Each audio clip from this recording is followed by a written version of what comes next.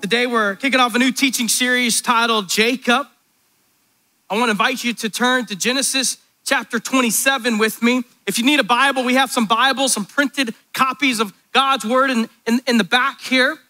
Love for you to take one, own it, read it. If you're rather have a digital, follow along digitally, you can scan the seat back in front of you or click that link that's in the comment section if you're online with us. But Genesis chapter 27 is where we're going to be. As you're finding Genesis chapter 27, Genesis, the book of Genesis, the first book in the Bible, is divided into eight different sections. The first four sections are the first four major events, and that's a span of some 2,000 years. And it's Genesis chapter 1 to chapter 11. The first major event, of course, is the creation account. That's the beginning. The, the second is the fall of man. The third is the flood. And the fourth, the fourth is the Tower of Babel. That's when mankind was scattered throughout the earth. The, the latter four sections is Genesis chapter 12 through Genesis chapter 50. And it's a span of, get this, 300 years, 300 years. And it's, it's divided uh, into four major characters. We have looked at the life of Abraham, we've looked at the life of Isaac. Today, we're going to begin to look at the life of Jacob. And then the fourth and final section of Genesis is Joseph. It's Joseph. And so today, though, we're kicking off this teaching series titled Jacob. Now, there are 10 generations from Adam to Noah. And then there are 10 generations from Noah to Abraham. And what we have seen, if you've been with us through this study across Genesis, what we have seen is the brokenness of humanity beginning in the garden, and it has continued. And as a result of that brokenness, we have seen a dysfunctional family after dysfunctional family after dysfunctional family. And today we continue to see Isaac's dysfunctional family. Now, within the dysfunctional family, there's, there's always distrust. There's always distrust. There's, there's always a level of deceit within the dysfunctional family. I don't know about you. Maybe you are the one family on this earth that doesn't have a touch of dysfunction. But I, I, have met every family, uh, uh, every family I've met, rather, has a touch of dysfunction. You, you know what I mean? Now, I know it's September, uh, but my house was decorated for the fall in, I think it was July. And uh, that's just my, that's my bride. And, uh, and I just go with it. And so I, did feel a touch of fall in the air this morning. I don't know about you. There was a hint for three minutes. It was, it was wonderful. But Thanksgiving is just around the corner. That's where I'm getting after. And some of you are already thinking, do I invite a person? And you know that person. And you know you should invite the person, but you're really struggling to invite that person right now. Why? Because they bring a level, level of dysfunction. You never know what they're gonna say, or you know they're gonna say something, you just don't know when. You don't know how the Thanksgiving dinner is gonna end. You know what I'm saying? Been there. And so, just about every, every family that I know has a touch of dysfunction. Isaac's family had a touch of dysfunction for sure. Isaac didn't trust uh, his son Jacob, nor did he trust his wife Rebecca and he favored Esau. Now, how many, I mean, I'm talking to a lot of parents out here today and online with us. And I don't want to say this, but you know what I'm talking about. Like if you had to choose one child, you know what I'm saying? And all of you would be like, no, we don't, we don't play favorites in this house. And I mean, I gotta believe that, but it depends on the day. Jacob was just straight up uh, uh, Isaac, Isaac was just straight up. He favored Esau, and Rebecca favored Jacob. Rebecca Isaac's wife, we see in the scriptures, was a schemer, she was a deceiver. Esau lived for himself, Jacob lived for himself. And in the midst of all of this, God preordained Jacob, preordained Jacob to get the blessing.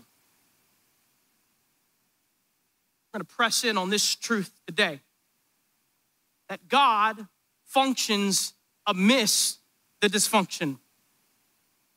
God functions amidst the dysfunctional family. Now, I said everyone has a touch of that one person, you know? And the beauty of the gospel is that God still moves amidst the dysfunction. That's good news for those that have been hurt, betrayed, lied to, and for many years you're holding this pain. That's why when you see that person, you run the other way, or when you know that person's coming, you don't show up. What if God was above all of that? And through his goodness and faithfulness, he gave you the ability and strength to forgive that very person. Perhaps you've been holding on to hurt for a number of years. God functions amidst the dysfunctional family. You see in chapter 26, last week, Pastor Zach brought a strong word. We see that Isaac lied about, about uh, Rebecca. He lied about Rebecca being his wife. He told Rebecca, hey, tell him, you're, tell him you're my sister. Well, where did he get that from? He got that from Pops. Abraham did it not just once, he did it twice. Bit of dysfunction chapter 25, we see that there's this, this battle that's going on, starting in the womb, Rebecca's womb, between the twins, Jacob and Esau. And we've already seen that Jacob stole Esau's birthright. And today, what we're going to see in chapter 27 is it's not just enough to steal his birthright, but to take away the blessing. He gets both. Talk about dysfunction. Now, there's 37 years that have passed from chapter 26 to where we're at in chapter 27. A whole lot of years have gone by between chapter 26 chapter 27 isaac is now 137 years old esau and jacob are 77 years old look at verse 1 Genesis chapter 27. When Isaac was old and his eyes were so weak that he could not see, he called his older son Esau and said to him, My son. And he answered, Here I am. He said, Look, I am old and do not know the day of my death. So now take your hunting gear, your quiver and bow, and go out in the field to hunt some game for me then make me a delicious meal that I love and bring it to me to eat so that I can bless you before I die. We've already seen that Esau is sponsored by Bass Pro, and, and he's this, I mean, that's who this guy is. He's this, he's this good old country boy that, that, that knows how to kill stuff. You know, you, everybody knows that guy. We have several in our church, praise God. For when, when you go out and you do that, and, and, and then you provide some of, the, uh, some of that meat. I will accept it at any moment. What we see in this opening of chapter 27, that Isaac's getting old up in age. He knows he doesn't have much time left. And so what does he what does he do? He he wants to bless Esau. He wants to bless Esau, even though Esau's birthright has been stolen. Esau despised his birthright. We've seen that. But he wants to bless him before he dies. So he sends him he sends him out. Look at verse 5. Now, Rebekah was listening to what Isaac said to his son Esau. So while Esau went to the field to hunt some game to bring in, Rebekah said, Son Jacob, listen, I heard your father talking with your brother Esau. He said, Bring me game and make a delicious meal for me. Eat so that I can bless you in the Lord's presence before I die. Now, my son, listen to me and do what I tell you. Go to the flock and bring me two choice young goats, and I will make them into a delicious meal for your father, the kind he loves. See, Rebecca knew that Jacob was not the hunter, he was the mama's boy. And uh, but we also see that Rebecca was the schemer. We, we see that here. She's listening and she knows what's about to take place. And so she sends the one that she favors on the easy route to go slaughter these young goats. Verse 9 Go to the flock and bring me two choice young goats, and I will make them into a delicious meal for your father, the kind he loves. Verse 10 Then take it to your father to eat, so that he may, may bless you before he dies. Jacob answered Rebekah, his mother, Look at my brother Esau, is a hairy man, but I am a man with smooth skin. We'll just, we're gonna leave that. Just leave it lie, let it lie right there, okay? We won't unpack that anymore. Suppose, verse 12, my father touches me, then I will be revealed to him as a deceiver and bring a curse rather than a blessing on myself. Verse 13, his mother said to him, Your curse be on me, my son. Just obey me and go get them for me. Rebecca was this role model for her son. She's teaching her son. How many of you know, how many uh, parents know that, that, that, your children are learning from you? Uh, they're, they're, they're watching you. Even when you're not instructing, they're still learning from you. They're, they're listening, just like Rebecca was listening in this moment. They're listening. So when he, verse 14, so so he went and got the goats and brought them to his mother. And his mother made the delicious food his father loved. Then Rebekah took the best clothes of her older son Esau, which were in the house, and had her younger son Jacob wear them. She put the skins of the young goats on his hands and the smooth part of his neck. Then she handed the delicious food and the bread she had made to her son Jacob. And so, what is happening here? Rebecca attempts to help God fulfill his promise. That's what we see happening here. Rebecca goes against the ways of God, falls into the traps, the sinful traps of deceit, lies. She's scheming. I want you to hear today that God doesn't need your help to fulfill his promises. Now, that's the one thing I want you to hear. The second thing is what a privilege it is when we get to be used by God in areas that bring him glory and honor. I don't want you to miss that. But on the other side of it, Rebecca was convinced that God needed her help. And so, what does she do? She does whatever it takes. And I would say, even in verse 13, as Rebekah said to Jacob, Your curse be on me, my son, just obey me and go get them for me. Listen closely, church. There, there is no place in the life, in the life of the believer for deception. There's, there's no place. And we need the church to rise up with honesty and transparency and integrity and character. There is no place where this should live among us. Your family should know that you are men and women of truth. Your coworkers should know that you are men and women of truth. And when you're put in that position, should I just lie? Oh, it's just a white lie. You ever, you ever, you ever convince yourself? I, I tell you, the enemy knows how to play this game. Man, he could get you start thinking. He, he gets that, he gets that mind started working. And the next thing you know, you have rationalized it and justified it to death. And therefore, you've given in to the temptation and you crossed the line of sin. And this is what Rebecca does. And this is what she leads her son to do.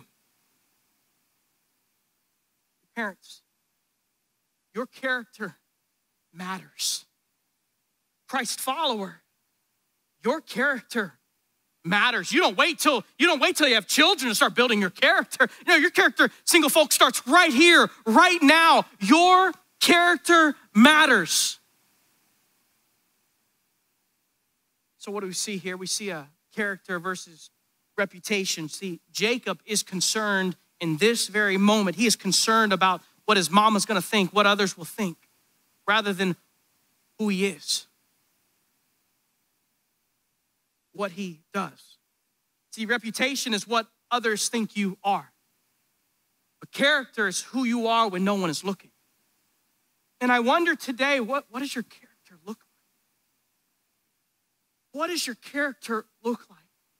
When no one is around, the dark moments of life, what does your character look like?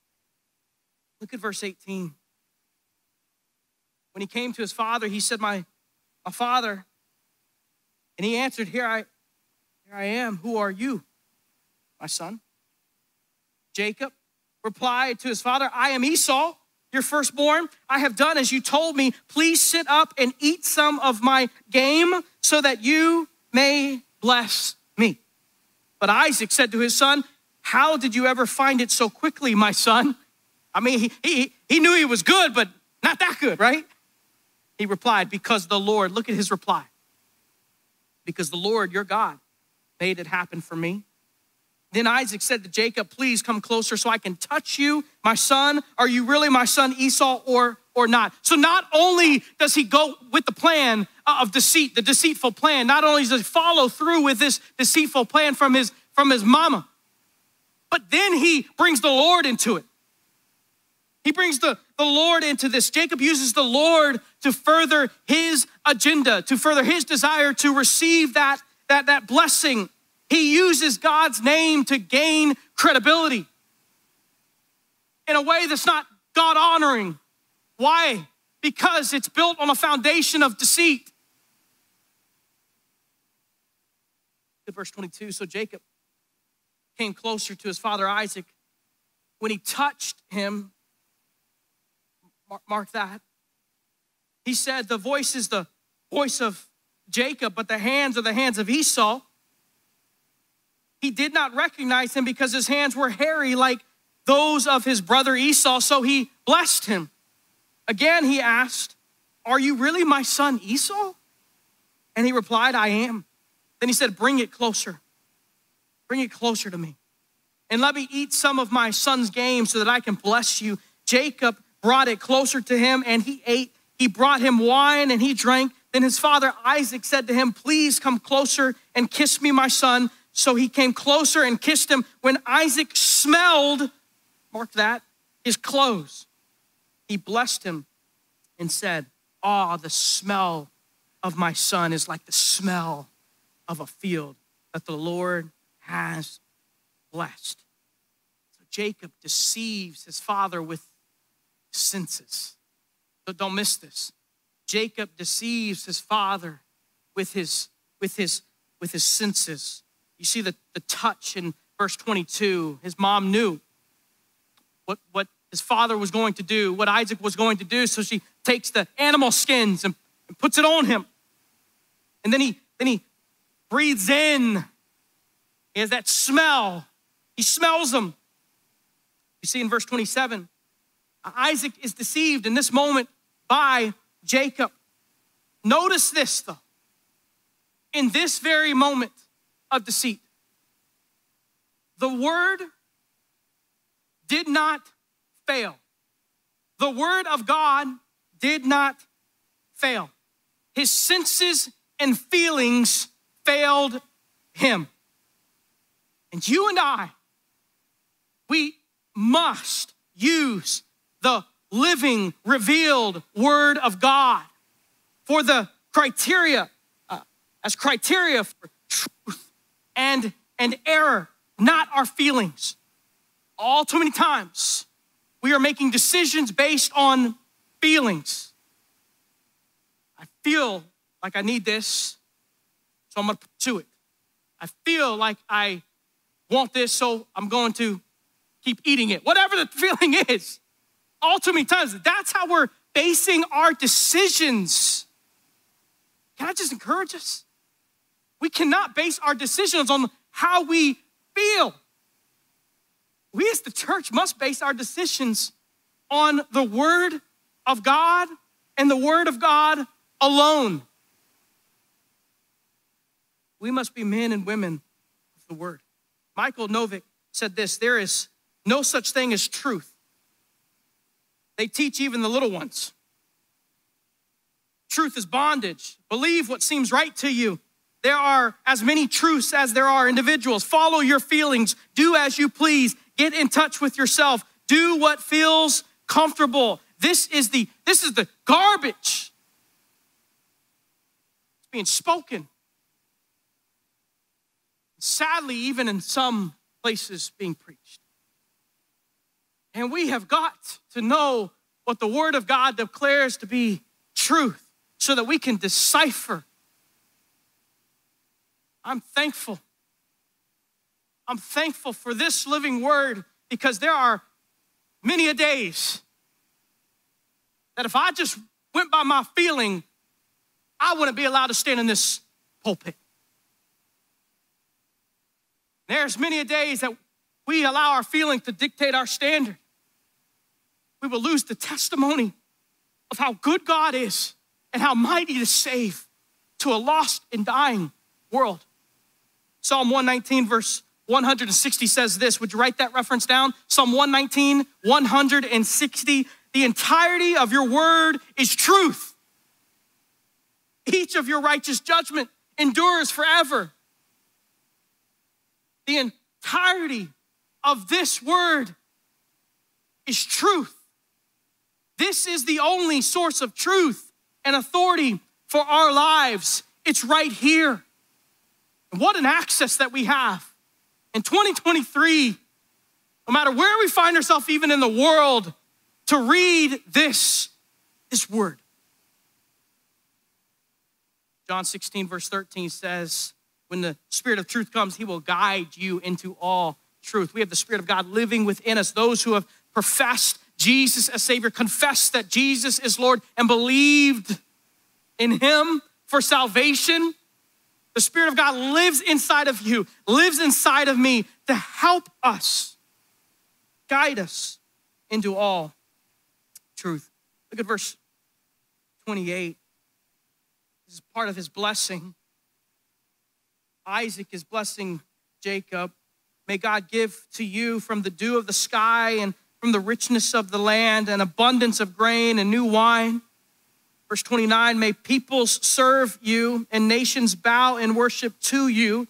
Be master over your relatives. May your mother's sons bow and worship to you. Those who curse you will be cursed, and those who bless you will be blessed. So we see that Isaac blesses Jacob. And then look at verse 30. As soon as Jacob had finished blessing, uh, Isaac had finished blessing Jacob, and Jacob had left the presence of his father Isaac, guess who comes in? With a fresh catch. His brother Esau arrived from his hunting. He had also made some delicious food and brought it to his father. He said to his father, Let my father get up and eat some of his son's game so that you may bless me. But his father Isaac said to him, Who are you? He answered, I am Esau, your firstborn son. Look what happens in verse 33. Look, look what happens. Isaac began to tremble uncontrollably, uncontrollably. Isaac began to tremble uncontrollably. Who was it then? He said, Who hunted game and brought it to me? I ate it all before you came in and I blessed him. Indeed, he will be blessed. He will be. When Esau heard his father's words, he cried out with a loud and bitter cry and said to his father, Bless me too, my father, bless bless me too. But he replied, Your brother came deceitfully and took your blessing. So he said, Isn't he rightly named Jacob? For he has cheated me twice now. He took my birthright, and, and, and look, now he, was he has taken my blessing. Then he asked, Haven't you saved a blessing for, for me? Haven't you saved a blessing for me? Don't you got an extra one, Dad? Verse 37 But Isaac answered Esau, Look, I have made him a master over you, have given him all of his relatives as his servants, and have sustained him with grain and new wine. What then can I do for you, my son? Verse 38 Esau said to his father, Do you have only one blessing, my father? bless me too, my father. And Esau wept loudly. His father Isaac answered him, Look, your dwelling place will be away from the riches of the land, away from the dew of the sky above. You will live by your sword and you will serve your brother. And when you rebel, you will break his yoke from your neck. we see in this section, the deception is revealed. We see Isaac is trembling under what, what, what he just learned of. He's trembling under conviction. See, Isaac blessed the, the wrong son in his mind. But what we know today is that Isaac blessed the right son in God's plan. God functions amidst the dysfunctional family. How? How can we believe this to be true? Because God is, is sovereign over all things. Verse 41 Esau held a grudge against Jacob because of the blessing his father had given him. And Esau determined in his heart the days of mourning for my father are approaching. Notice this then I will kill my brother Jacob. What do we see here? Revenge is a miserable way to live. There's some in the house and there's some online. I, I gotta believe that, that you're you're living with hurt. You've never taken that hurt to the Lord. You've never forgiven that person that harmed you. And so, in one way or another, there's some kind of scheming, whether you want to or not. There's a wish on them. And, and if there's any takeaway from what we see before us, is would you come to the place of true forgiveness? Some of you wonder why I can never feel free, feel alive. It's because you're living in a, a prison of unforgiveness. That's why. Ephesians chapter 4 is a very clear scripture to all of us, to the church. Forgive as you have been forgiven. But Tim, you just don't know what that person did. But what we know is the example of our Savior. He went to the cross over 2,000 years ago and he was crucified for your sins and my sins. I, at one point, rejected him, turned my back on him, sinned against him, but he still willingly went to the cross and his blood was shed. Be forgiven so that I could, um, so that I can live a life of forgiveness. We see at the closing of this chapter, we see that Rebecca encourages Jacob to flee. And, and, and here's what happens as Rebecca encourages Jacob to flee, her plan backfires. She says, Hey, just go away for a few days and let your brother cool off. And, and what we're going to see moving forward is that Rebecca will never see her son again. A few days turns into 20 years. Perhaps there's some that have been running. You thought eh, it's just be a few days. I just kind of go over here, drift over here, do my thing over here. And I'll, get back to the Lord when I feel like it. And, and perhaps it started with a few days, and but you're here today. You're, you're today. And I got good news for you that the Father's arms are open wide, ready to welcome you home. He's ready to embrace you and forgive you and comfort you and for you to experience hope and life in Christ Jesus. What will you do with it? As we close, quickly, how do we build trust in a world full of deceit? I want you to think about this. Consider this. how do we build trust in a world full of deceit? The, the first is this would you write this down? Surrender to the Lordship of Jesus. How? How do we build trust in a world full of deceit? It starts with Jesus being Lord of your life. And I wonder have you surrendered to his Lordship? Jesus is Lord. Whoever calls upon the name of the Lord will be saved. Have you done that? Surrender to his Lordship. John 14, 6 says, Jesus told him, I, I'm the way, the truth, and the life. I'm the way, the truth, and the life. No one comes to the Father except through me. So Jesus said, I'm the way, the truth. How do we build trust in a world full of deceit? Surrender to the lordship of Jesus. Why? Because he is truth. He is he is truth. Secondly, would you write this down? Secondly, sur- surround yourself with people that are honest and truthful. Surround yourself with people that are honest and, and truthful. Examine those that are around you. Examine those that are in your close circle. Examine those that are speaking into you because they're either speaking life or death. And so, so how? How do we build trust in a world full of deceit? Surrender to the Lordship of Jesus and surrend, surround yourself. Surround yourself with honest, truthful people. Proverbs 10 9 says, The one who lives with integrity lives securely, but whoever perverts his ways will be found out. Proverbs 13 20 says, The one who walks with the wise will become wise, but a companion of fools will suffer harm. So, how? How do we build trust in a world full of deceit? Have you surrendered to the Lordship of Jesus? And would you take a moment and consider the people that are closest to you? Your heads and close your eyes all across this place? Those that are worshiping with us online, would you do the same? We're not finished yet.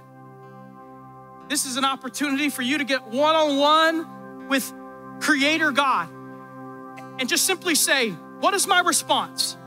What is my response to all of this? God, what needs to change in me, in my life, around me? What, what needs to change?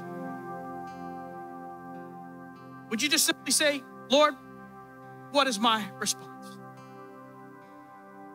As believers are praying that all across this place, I wonder if there's someone here that's never surrendered their life over to Jesus, and today be the day of salvation for you. Today could be the day of salvation. If that's you, something stirring within you, you're not sure if you were to die today, where you would spend eternity. I want you to know on the authority of Scripture, there can be a confidence not in you or in, in your good works, but in Jesus and his finished works. And so if that's you, something stirring in you, whether you're in the house or you're online, would you take a moment and would you pray something like this? Something like this. Lord Jesus, I am a sinner. You are the Savior. Forgive me of all my sins and take me to heaven when I die. I believe in you. You walked this earth. You died on a cross. You were placed in a grave and you rose. You rose from the grave. I believe starting this day, this moment, right now, I surrender completely over to you. Have your way in my life. Use me for your glory. Thank you for saving me. If that's your prayer, would you thank Him right where you're at? Whether in the house or online, would you thank Him for saving you?